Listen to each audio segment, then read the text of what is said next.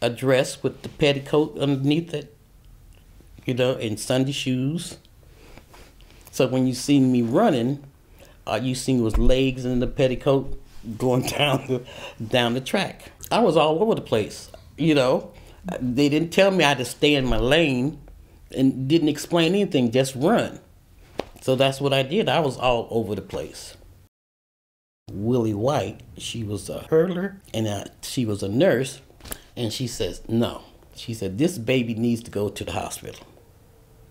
He needs to go now. And so she made them take me to the uh, commissary at the Olympic Village, and that's when they told me I had pneumonia.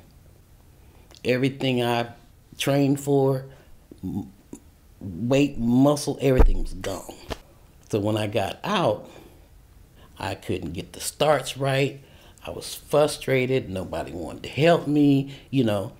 And so all of a sudden, out of nowhere, Wendy shows up. Now, how she got in the Olympic Village, I don't know. but she was my saving grace because she was there. I was crying. She said, okay, gather yourself together. We're going to get through this. So I said, okay. The one race that I wanted to win the most was the 100. But I just didn't have it. I got fifth, but that was devastating to me.